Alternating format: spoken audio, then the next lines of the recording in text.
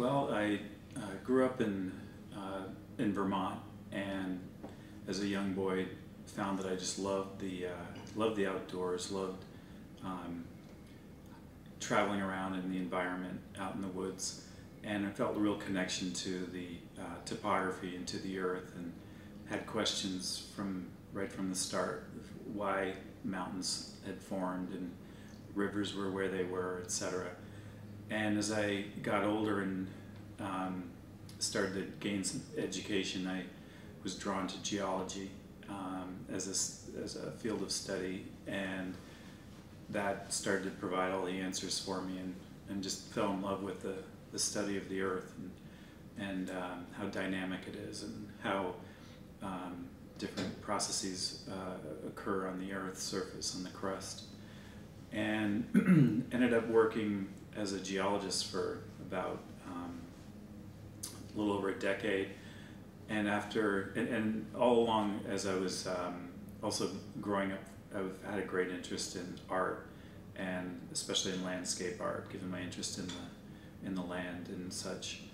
And so as I, um, as I was kind of learning about art, I, my, I was drawn to um, to looking at painting, landscape painting, and landscape photography.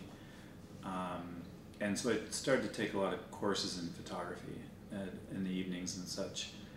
And after, as I was saying, after about a decade of working full time as a geologist, I started to think um, that was this what I really wanted to be doing? Kind of at the end of my life, I was looking, at the time I was about 40 years old, and I was thinking when I retire and I look back, would I only have want, wanted to have been a geologist? And I thought there was more that I'd like to express or, or um, do and create creatively uh, through art. So I applied to a, a one year photography school in New York City at the International Center of Photography and um, sort of forgot about the application and three months later found that I was accepted. So I kind of took a big um, breath and decided, why don't I try jumping off the, um, the track of geology and try something completely different.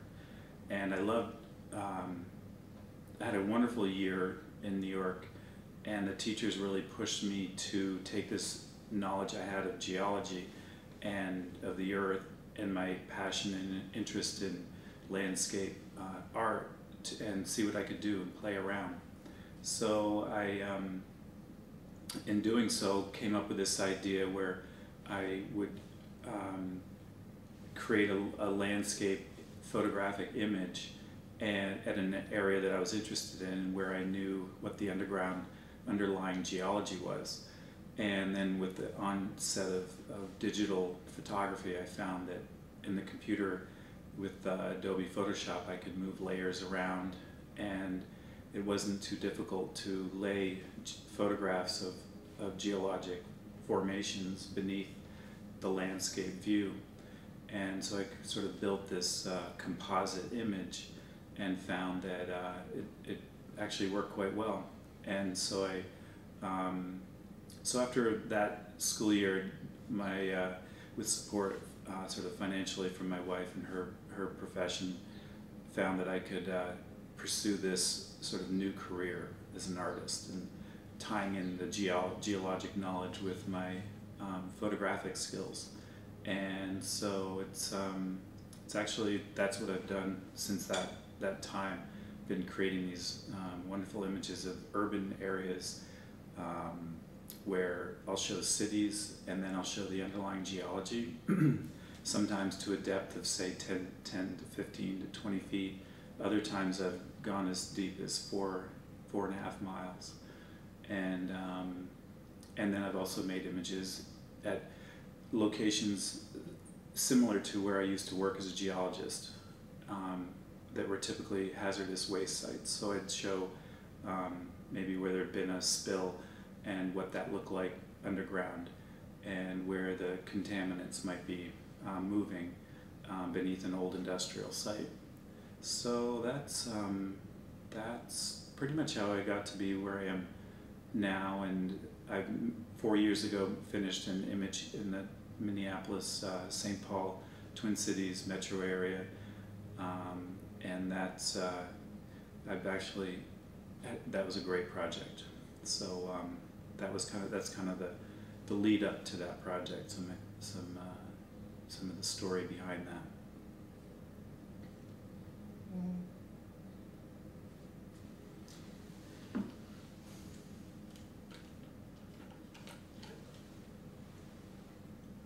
What does it mean for a picture of the kind you're talking about to work?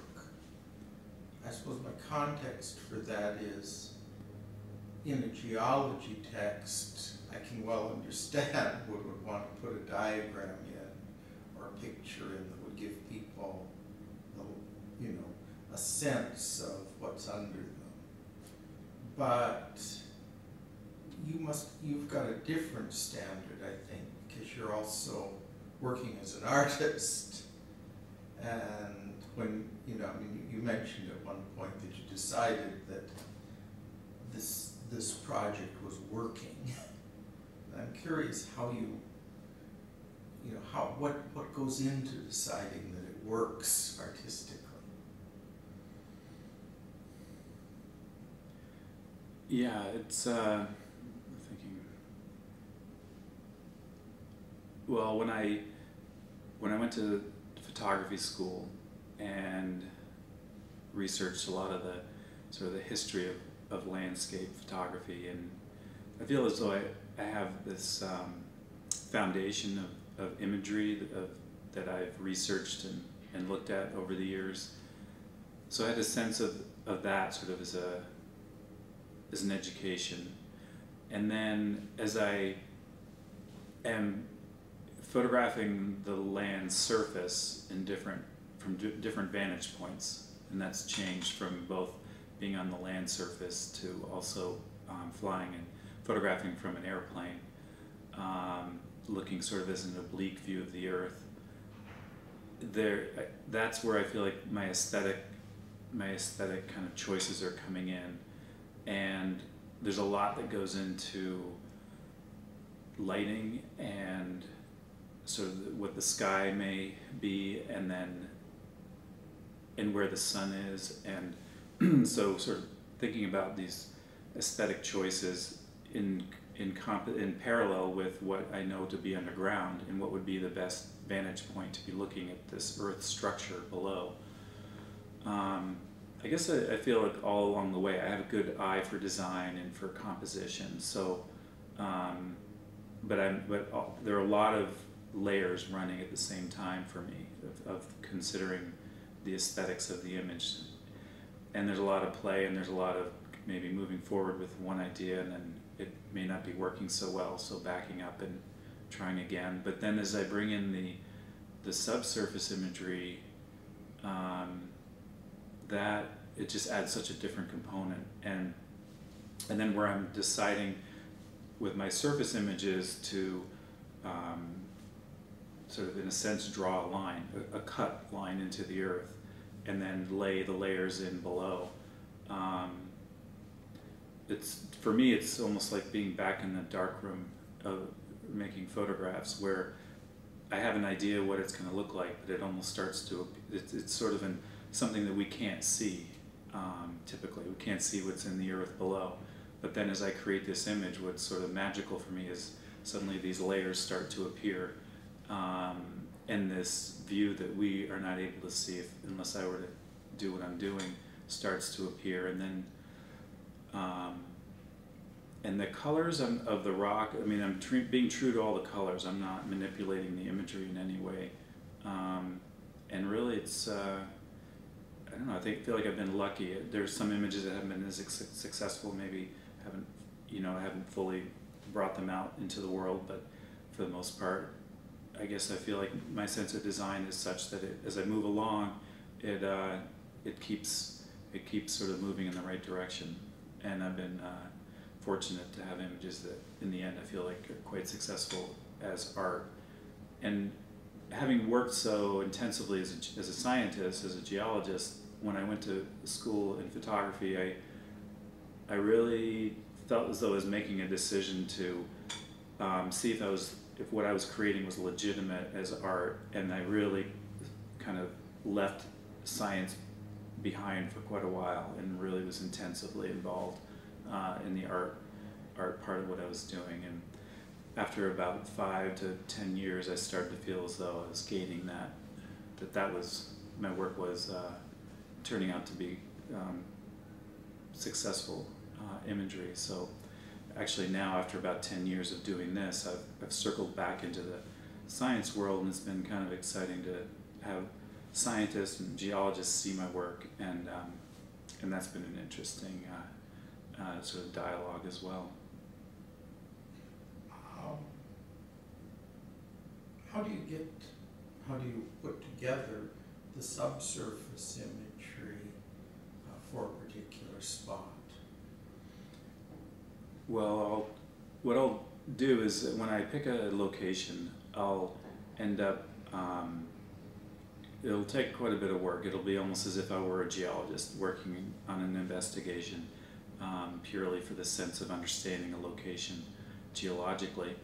And so I'll look at the literature, I'll look at what reports have been um, created in the area I'm interested in in the past, um, and then I'll do a lot of reading and a lot of uh, research and slowly build up my understanding of the of the geologic history really of this of this site and of this location as far back as I can go. And then as I start to see the well actually what, what the biggest step then is is to create a geologic cross section, which is the sort of black line um, framework drawing of where the different geologic layers are and how they're oriented and um, and then consider scale and how I'd like to represent those in the image uh, to make it reflect as, as best as it is it, as it can given the surface imagery that I'm showing. And once I once I finalize that aspect of the image, excuse me, um, then that's kind of like the, uh, the the foundation of the work I'll be doing below ground. Um, and basically, I'll have a list of all these formations that are in my image. So with that, um, and with geologic maps and all the work I've done in the leading up to this point, I'll often be traveling um, by car and looking for all locations in the area where different all these different rock types are exposed at the surface. Um, so I'll drive around and um, and look for those, and then often I'll use um, field trip guides. There are these wonderful series of books called The Roadside Geologist um, of different states. And they'll actually have road log, you know, where you could be driving along a certain road and they'll say, well, you're going to pass these certain cliffs of rock, and it'll explain um, the geology of those cliffs. But it also, for myself, in the work I'm doing, it'll kind of point me in the direction of where some of these rock cliffs are to photograph. Some of them are along rivers, where the rivers have eroded down through the earth. Others might be along a railroad where they've blasted through rock, or along a road where they've blasted through rock. So um, it varies where I'll go. And then I'll set up a tripod and photograph fairly. Um, the, the technology I've been using is a special type of tripod head where the camera is mounted and um, I have overlapping images and it's set up in a certain way that when I then go back to the computer to stitch the photographs together to make one composite image, um, it works really well. And um, but I'll go and photograph all these different rock types, and they sort of, in a sense, become the palette of, for the image below ground, and um, and that's how I find the uh, the geologic portion of the image.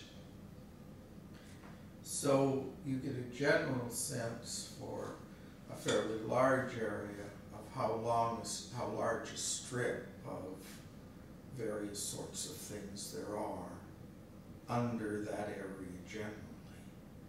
And then you put that width of strip, so to speak, under this particular item.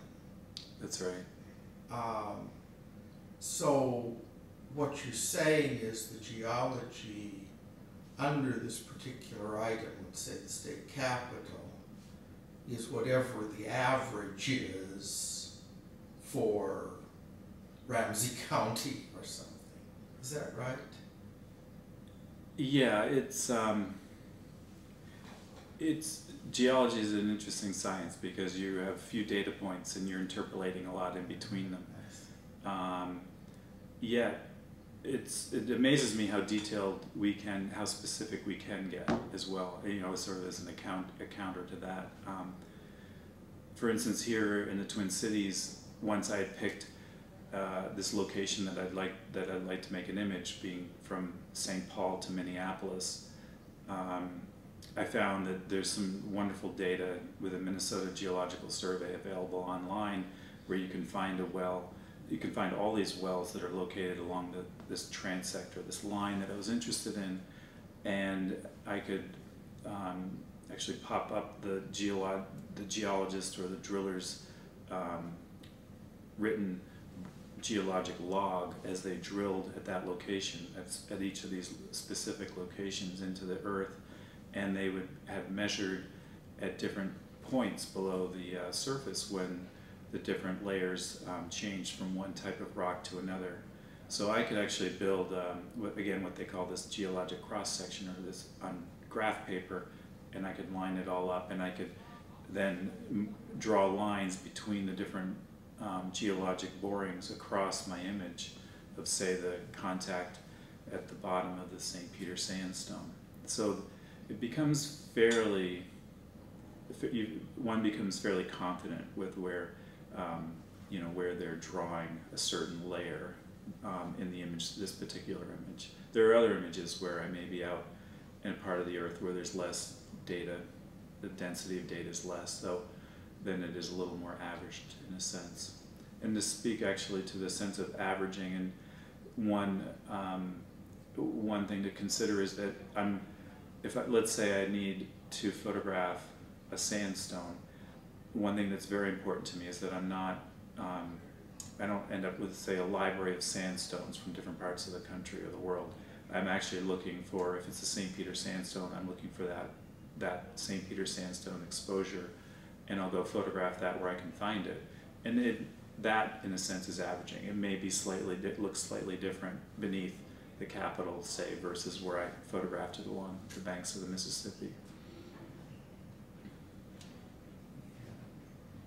Uh, so you have quite a lot of information about what is actually under some places. I feel that, that I do, and that uh, geology is pretty amazing as far as how much it's progressed as a science over the last few decades. I mean, it, it, it sounds like from the well drilling information, you almost have what you'd have if you had a drill core. That's right. down. I mean, you have written records from somebody who saw the equivalent of a drill core, Right. uh, only they threw away the little chips and things So that's right. when they were when they were drilling. And it, and there are often situations where they actually have pulled um, drill core, the cores of of rock formation from the earth, and they've photographed that, and that's the pictures of that rock core is available in reports. And they also, a lot of states will have repositories where they'll actually have boxes of these these cores of rock that have been extracted from the earth, where you can go and actually look at it. Um, some years ago, I, I inherited a little bit of stock from Schlumberger, and I gather what made their name was sending sound waves down and bouncing them off of things and getting a picture of what was underneath with an idea to oil exploration specifically. Is it strange to be doing, as it were, photographic images of invisible things? I mean, there's a lot, you know, there's issues with the landscape of what, you know, by what light do you photograph it? By high noon or, but, but this is, this is stuff that only the mole people see. In some sense, if we say about our image of it, Schlumberger's chart is going to be our our image of what's below. That is, for in the sense, in any reasonable sense of what it means for us to see it, these sound waves and and things like that are mostly how we see what's under us. So I mean, is there is there a puzzle with that for a photographer? I mean, you, when you when you're on the top, there are all these questions about by what light, from what angle. I mean, all these things that have to do with the fact that this is an actual visual experience for somebody. And then when you go down, you're suddenly dealing with something that, in a certain way, isn't an actual vis- possible visual experience. Right. Because people don't live underground, they and eyes don't work without light, and all that sort of thing. I mean, how do you think about that? I think I, I, I, I kind of step back. I have dyslexia, um, and uh, when I was being tested for this when I was younger, the people that, that worked worked with me and explained this this uh, this style of learning or understanding, they said I was very strong, a very strong visual learner. So, um, so for me, this has been a wonderful field um, because as, as as learning geology, my mind is is so active as far as taking data, continually taking data and reworking my picture in my mind and my imagination of what things look like underground. And in the over a decade of working as a geologist, I was constantly uh, creating images and pictures in my mind of all these different locations all around, um, mostly in the Northeast and Northwest. And there were all these stories that I was finding that could be told. And, and then I was, in a sense, painting pictures as a, as a geologist, the way geologists do by building, um, drawing cross sections, um, uh, and representing data on cross sections and such. And I and I remember feeling like, wow, it'd be wonderful if uh, if the the rest of the you know the, the general public could see what I was seeing. In a sense, I felt like almost like as if I were to be a writer writing books, or a movie maker or something, and filmmaker, and um, they just seemed like really fascinating stories or fascinating images that I was imagining there to be below ground. And so this, I, I, feel like this is what's happened for me is that um, visually I've found a way to um, represent what re we really can't see. I mean, and yeah, there's a lot of information. It's an amazing amount of information we've learned by by measuring um, the magnetics of the crust or the gravity, gravitational forces in, in the crust and sending energy waves down into the crust and having um, receivers pick up uh, the energy waves bouncing back off of certain layers and as seismic studies and then sort of this very wavy graph looking like paper that's saying, oh, well, look at this layer, the top of this layer and that layer and that's a very odd image to be looking at and trying to in your mind transfer to that to well what does the crust really look like? What does the earth look like a mile down? We're getting waves bouncing back off this one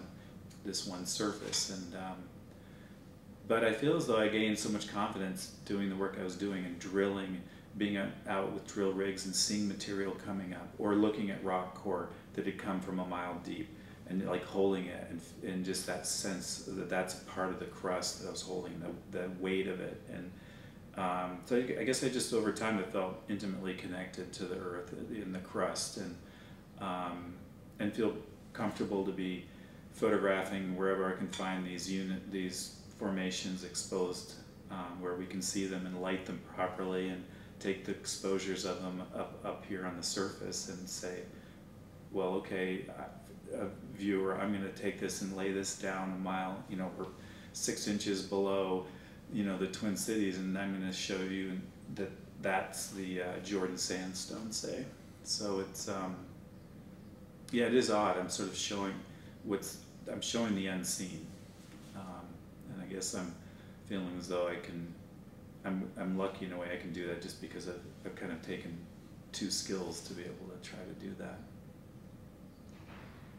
You mentioned not just pictures, but stories, Yeah. and, and being fascinated with story, with the stories that emerged as a, as a, as a, you know, as a geologist. Does that storytelling also come into your work now? Yeah, it's interesting. It's um, I started showing my images when I was coming out of photography school, and had very brief names such as um, Boston Basin, and I'd show this little, you know, little bit of the Boston skyline and and stretching um, to the south to Quincy and then up towards Stoneham, say a 16 mile width of the crust surface. And then I'd show four miles below Boston in this geologic basin. And, um, or I'd show a gasoline station with a tank that leaked, and the gasoline is uh, migrating away. And I'll show these little white PVC groundwater monitoring wells, and I'll show the concentrations of benzene and groundwater with a different colored kind of overlaid plume of these bright colors and I'd say gasoline station. And people would see these images early on and they'd say, wow, you know, and I'd like to, I'd like, sort of wanted people to see them and just work with them on and just see what they felt and react and not provide too much information. And over time, people have often asked questions and asked what's the story behind certain images. And as I start to explain them, they're like, they, my re- the response I, I've received often is they wish that there was more involved in the title or there'd be a bigger explanation, a paragraph, say, next to the image. And that's the direction I've gone is um, emerging as an artist to provide more information. Um, and so the um, so now, yeah, I feel like there's a lot wrapped into my images that are these stories. Um, and I guess people, as far as how far they come in to get to know the images or the stories behind them, you know, gets certain depth of story with each image. Um, and I, I guess some of the stories that I feel like were interesting to me and when I was working as a geologist were, and I was young at the time and I loved nature and, and felt a real connection to the beauty and how we treat the earth. Some of the harsher stories to experience were um, one I remember was um, being up in Maine in this very beautiful rural area where an engineer uh, was retiring from Boston, wanted to buy land and, and retire up to this nice part of Maine. And he, he thought, as he was about to buy a piece of land, maybe I'll go test the groundwater um, coming from the faucet of a neighbor, um, just having some subtle concern for the quality of the subsurface. And the results came back high in um, PCBs. So the state came in and tested nearby um, residential wells and found there was a lot of PCB contamination. They had them um, start drinking bottled water. And um, my one of my early jobs was to spend a summer drilling wells in this whole area. And it turned out that um, this person had a business of hauling waste, um, liquid waste like oil, waste oil, and such, and industrial waste. So this person, I think, was collecting waste from big chemical companies in the Northeast, and had bought land throughout Maine and would come up to these locations at night with and have made uh, some trenches with a backhoe, and then open the spigot of their tanker truck and let the waste, um, you know, leak into the earth. So I guess I was sort of shocked in ways at times um, at some of the. To me, that was a pretty dramatic story, um, and a sad story, and uh, and there were so and then I guess the other stories I'm interested in, say here in the Twin Cities, is the story that I love mountains, I love topography. We, my wife and I moved here about eight years ago, and um, we lived here for about four years, and my response to the environment was this felt very flat to me, this upper Midwest region. And so as I started to learn about the geology of right here in the Twin Cities area, I discovered that there's this mid-continent rift that underlies the Twin Cities that stretches from Kansas all the way up through this area and into Lake Superior and sort of turns and goes down into Michigan. And that this that over a billion around a billion years ago, um, as plate tectonics occur, where continents collide and come together and break apart. At one point, the North American continent was plate was breaking apart, and it it almost broke apart here, but then it broke apart somewhere else probably, and this failed as a full um, separation, and it was called a rift valley, and then um, the, ultimately that valley was filled in with lots of sediments, and um, then there was a long hiatus as far as the geologic history or the story of this area um, for about hundreds, hundreds of millions of years, uh, to a point where then there was an inland sea um, that stretched up into the southeast Minnesota and, and, through the area of the Twin Cities. And this sea would sort of advance and retreat, and there'd be deposits of sandstones or uh, sand or um, limestone, alternating layers, um, which is a pretty interesting period of time, and you have fossils and such. And then there's another long break in time. And then more very recently we have the glaciers that came down and and um, and some of the meltwater would would create uh, bedrock valleys that would cut deep into the bedrock and um, then maybe get filled in again with sediment as subsequent glaciers came through and they um, had a big impact on the land surface. So um, that's again another story that when you look at an image that I created of the of the Minneapolis and St. Paul um, it won't be expressed in the title. It'll be expressed in a little explanation next to my image, but that's, I guess that's my way of telling a story. Um, and I have a deep understanding that goes into the image. Um, and so I guess that's the thing I kind of wrestle with, how much am I telling a story or how much, what more could I do um, to add more to what someone experiences when they view my images. Um, has this process of making images of this kind over and over again over a long period changed your understanding or your relationship to landscape?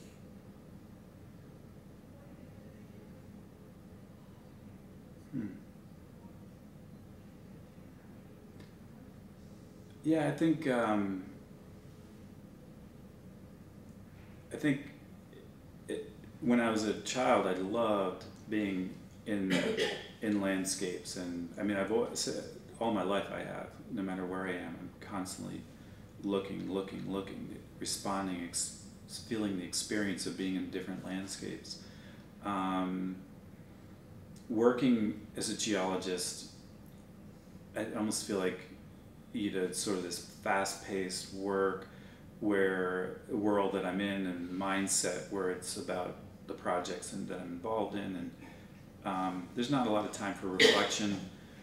I feel as though this last decade of my life has been really about having the time to, to sort of reflect and experience more of, uh, of, of, different locations and, and go deeper into, um, into a place where I, pretty much everywhere I've lived, um, I've created these images and, and that, I think there's a real sense of where wherever I am, I am spending a great period of time, I want I kind of yearn for this deeper feeling of connection to that to the location and the landscape that I'm in.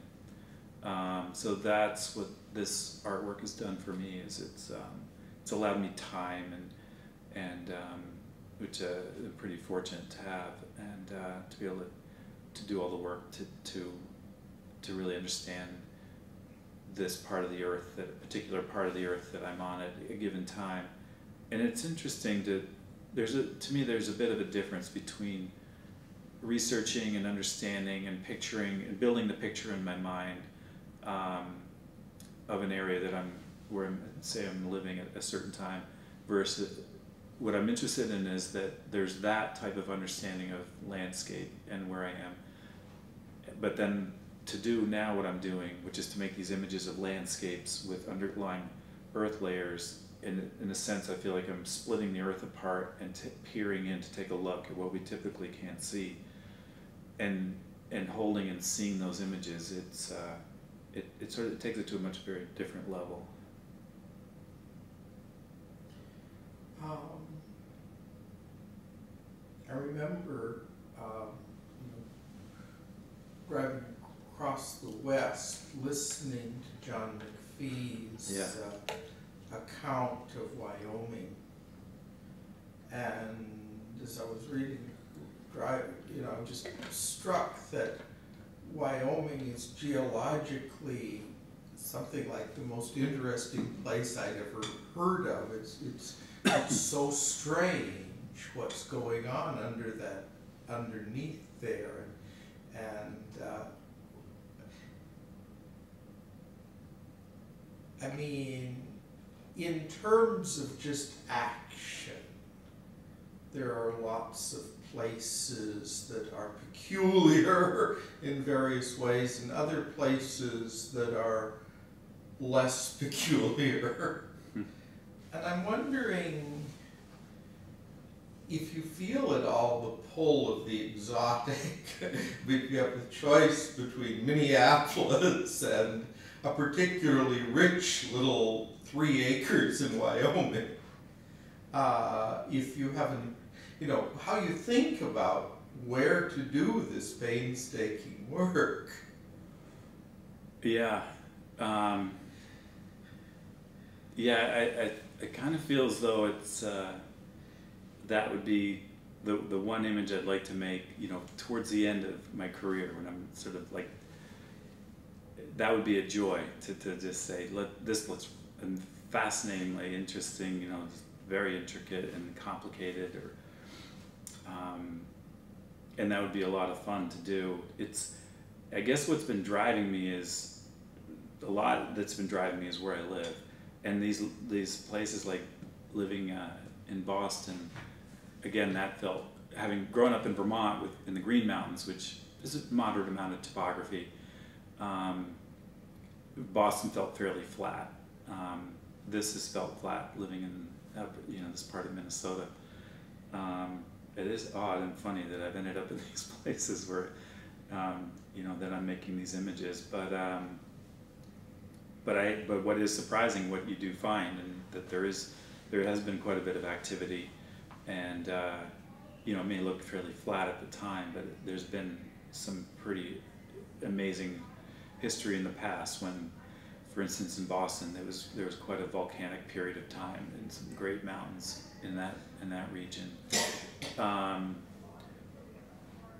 yeah, I think a big response I had too is having worked in as a geologist full time on all these hazardous waste sites, that there were these these situations where the sort of the petrochemical industry revolution, the, there's been a great cost of all the wonderful advances we've made and the comforts we we now live with, um, being that what it, what we've done to the earth. And that having worked in that um, field pretty intensively, there was there was a response I was feeling that I really wanted to be able to show some of that, um, so that we have a greater sense of some of the environmental costs that um, that are down there. And my, one of my biggest passions is groundwater um, and groundwater flow, and the science of that, and to see the impact we've had on groundwater, which is so so vulnerable that if you you know spill some gasoline into it, say from a leaking tank, um,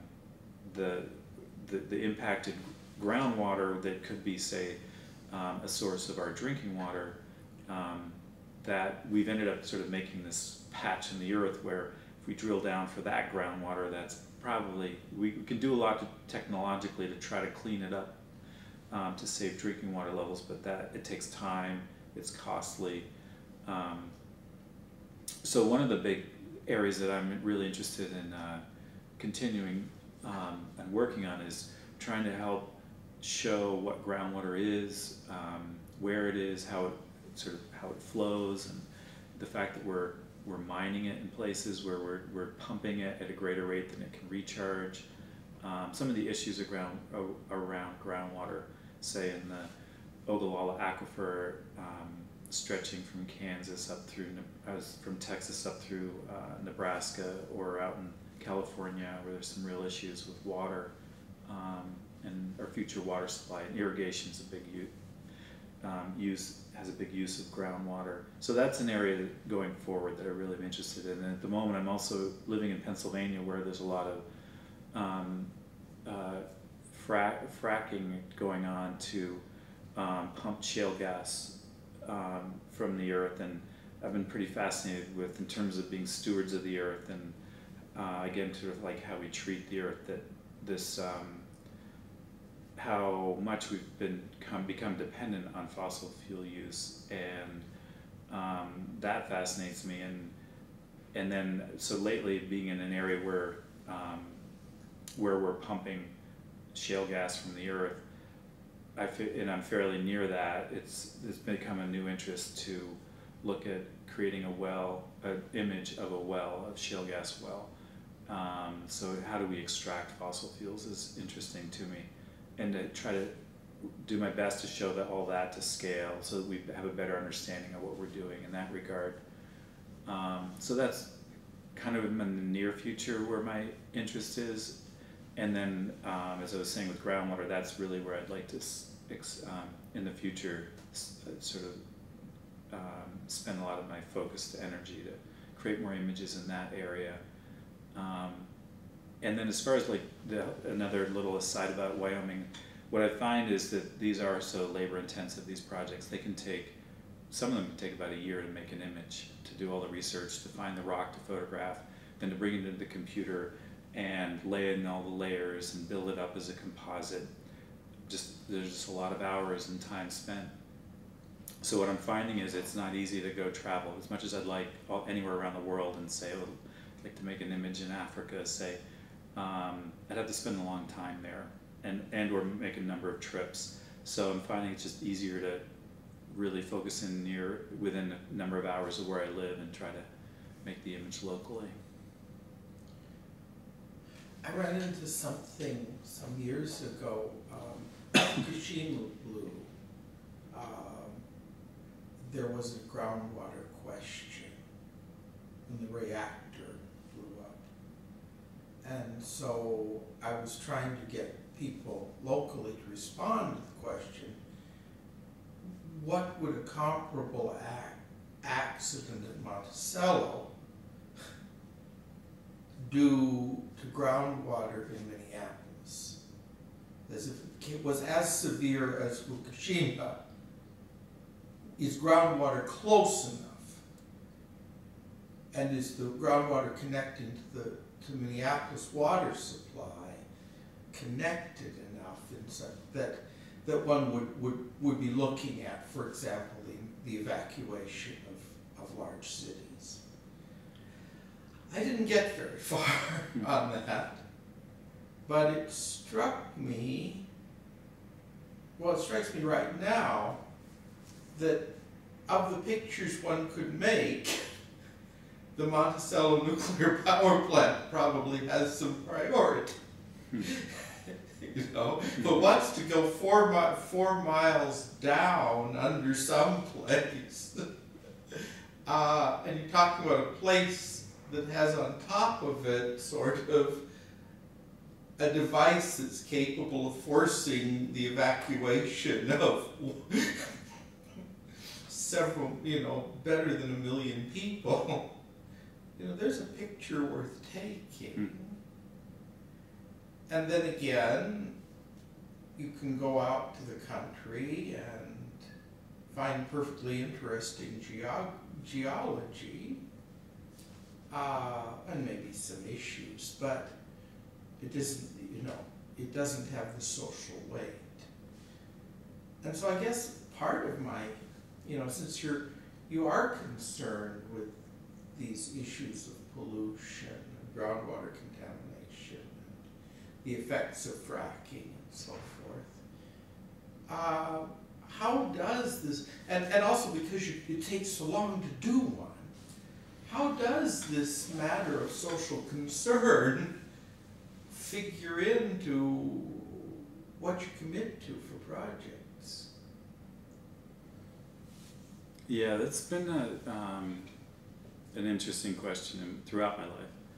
Um, being when I was younger, I, I grew up in an area where there were a lot of people that cared deeply about the earth, and we worked to preserve land in our town and went to college. And um, you know, there were environmental groups I get involved with a bit where, at the time, nuclear uh, power was there. It was around the time that the Three Mile Island accident, and um, there's a lot of concern and, and fear of the risks. Um, so I, I, definitely got involved with nuclear power in that regard, and um, and concerned about what are we going to do with all this waste and how long that you know that's going to be around um, that we're creating, and how do we how do we take care of that. Um, and what was interesting is then I ended up working my first job working for a geology firm. They had really most of the work they had done to sort of get started. They were working around different parts of the world, helping the nuclear industry locate nuclear power plants in locations where there was not as much um, geologic um, activity, like you know, uh, earthquake potential, etc.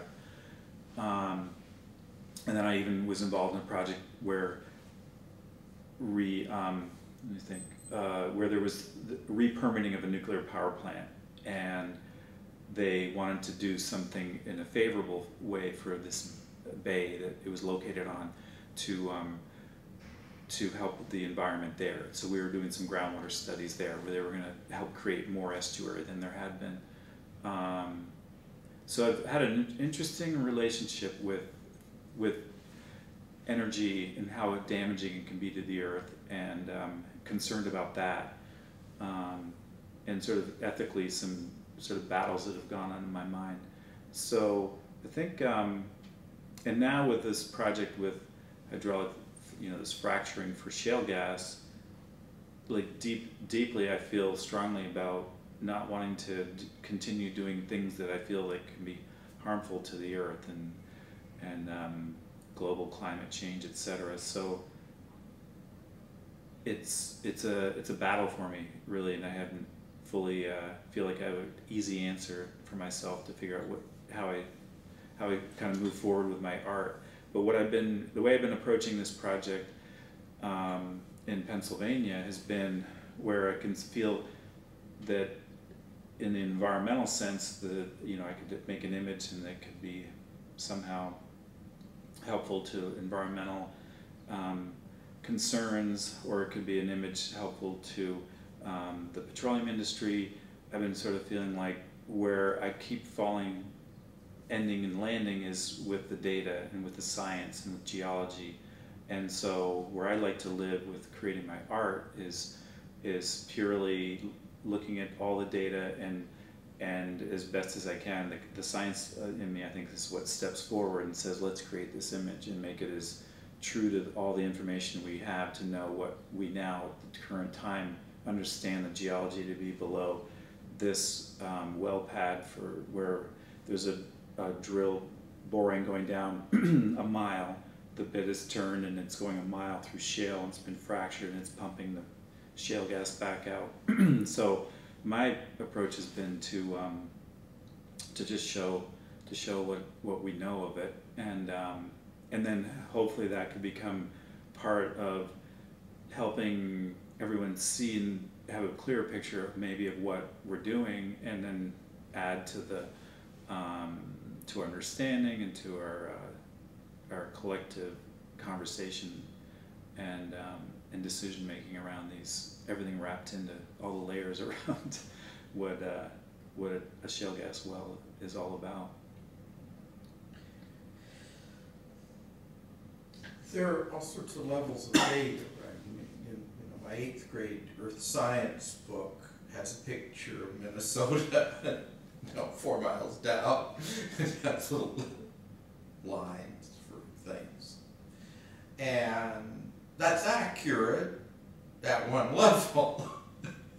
and it's not going to tell them very much about what's under Meeker County, let's say, in any very specific way.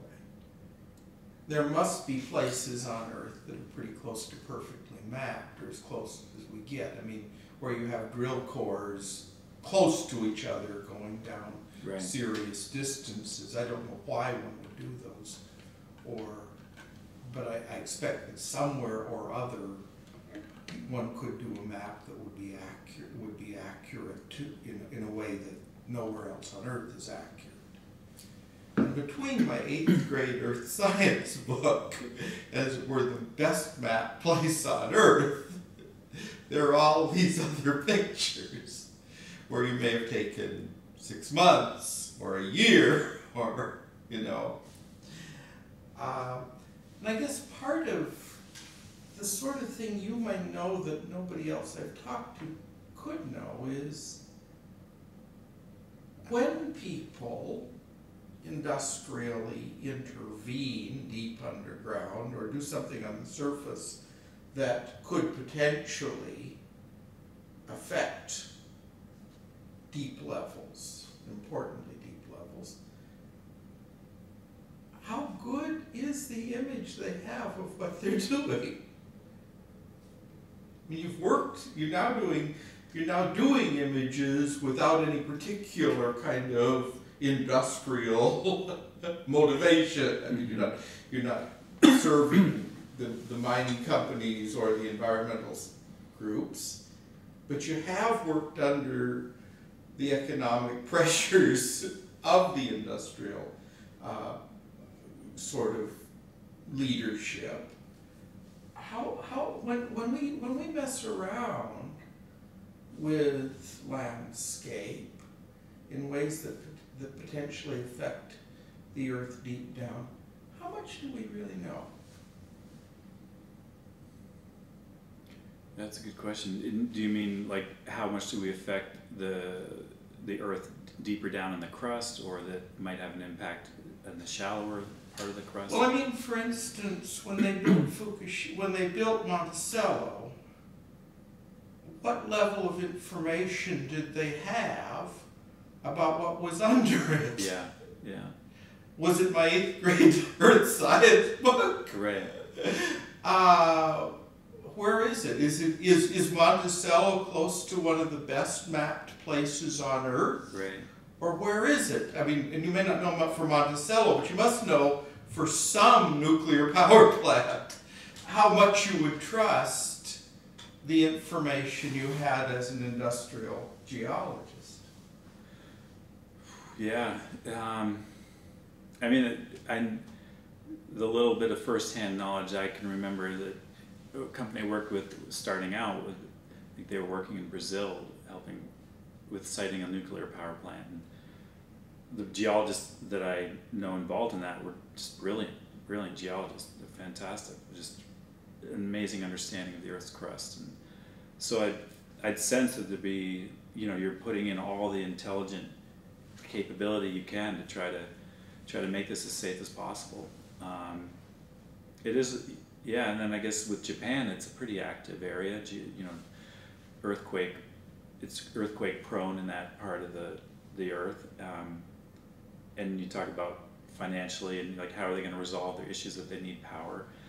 So it's interesting. It's um, to think about yeah, then the amount of risk you're taking.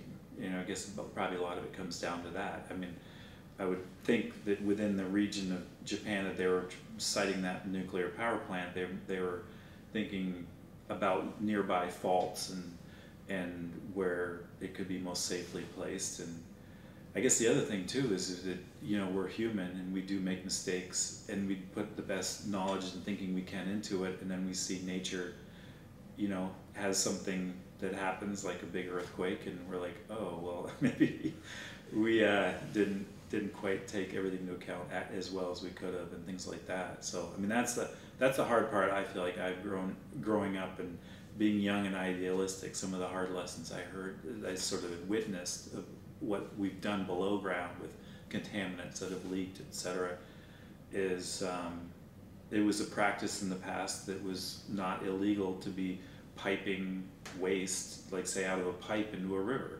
um, and that made a real mess. And then times have changed, and we have regulations, and um, happily, happily, uh, we are very diligent about how we handle waste now. But that's that took a half a century, and what a mess we made for the even half century before that um, that I witnessed. It was really hard to see, um, and um, yeah, the, I don't I haven't lived here long enough to know where the, the nearby nuclear power plant is that you refer to. Um, the Twin City Basin that we are we're in a geologic basin here. So um, the the layers of rock, they're alternating sandstones and limestones. Is my understanding, and that the sandstones are more um, capable of serving as aquifers, where if we pump from that sandstone, it's going to provide a lot of water. And because it's it's shaped almost like a very subtle bowl or saucer, it's a basin. Um, the the limestone and sandstone layers say may uh, be um, exposed near the surface out on the perimeter on the edge of this of this basin and that's where rainfall and precipitation in terms of the water cycle falling on the earth that rain can portion of it can work its way down percolating through the soil and into that sandstone layer and then if we're pumping it say here in the middle of the basin that groundwater is um, is flowing um, towards this well that we're pumping, and the travel times vary um, over uh, quite a scale. You know, you may be pump a house may be pumping from that sandstone near that recharge area to that um, that aquifer out near the perimeter, and maybe that water's been in the ground for um, you know travel for the order of um, I don't know tens of of years versus maybe here some of the water may have may be traveling over tens to hundreds of years or even some of the deeper groundwater that flows could be thousands of years old. Um, so it's there are a lot of factors to consider there and um, what I've been interested with groundwater is how important it is to land use planning that we want to be um, hopefully and I think the in this country they've done a good job about um, the source area getting a sense of mapping where the source areas are to, to wells that we pump for our municipal water supply and then mapping them and then um, in the future hopefully that um, land use um, there might be some regulations about you know not placing a nuclear power plant or a um, some industry that uses a lot of chemicals right on that source area because if that has an accident then you may, you've maybe compromised this just amazingly prolific, wonderful, fresh, clean drinking water supply. Um, and those are the kind of decisions that I've been really interested in, um, kind of relating a bit to some of your questions. So, this basin, I mean, the basic picture you want to paint is you don't stick a nuclear power plant inside the basin. Yeah, it, depending on what you're looking at, it like if I'm looking at groundwater and, and the But- ground, and I think a lot of this, I should be careful because I, I don't know a lot about this, but I think a lot of the water supply for for this, you know, the Twin Cities area is from river, the river, the Mississippi River. So I think that happens in a lot of big, um, big urban areas. When you have a big river flowing by, that becomes the source of water to drink. Um, and the groundwater is still pumped for a lot of reasons, not to say, um, you know, that it's not. And I, and I don't know if, if the nuclear power plant is in the basin, so I, you know, I don't know where it's located. But, but just, just as a final question, I mean, from your experience in nuclear, as somebody who fussed around with the geology of siting nuclear power plants, would the geo, would the geological survey of an area that was done prior to building always be good enough to find that basin if it was there? Yeah, something is is uh, prominent as a basin. I feel like yeah, you, you know, you're gonna that has been discovered fairly early on. So they're, That's they're, they're always gonna know feature. that level that I would level think so, yeah.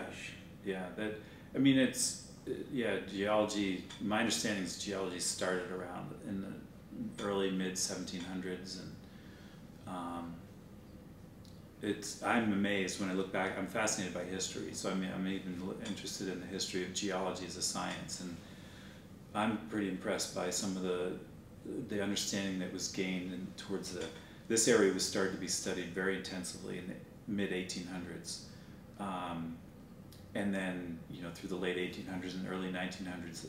Some of the I've seen some really interesting reports where they're starting to really put the picture together of the of how the you know the geology, the structure of the geology, what how it looked, and it's it's sped along at quite a rate. It's pretty impressive um, how how much we've learned, and the general general pictures have been well developed of the structure of the crust, and and now we're even looking deeper um, and deeper into the crust, and and then like you talk about like between the eighth grade textbook versus this very highly intensely known location. Like the U.S. Geological Survey has taken locations, um, and I'm not sure if they probably they purchased the land because they've said, okay, we want to study this, and it's they call it like Swiss cheese. They have drilled lots and lots of wells, and they they use them as study cases for situations where we as society we need to know more about a certain aspect to do with geology or groundwater.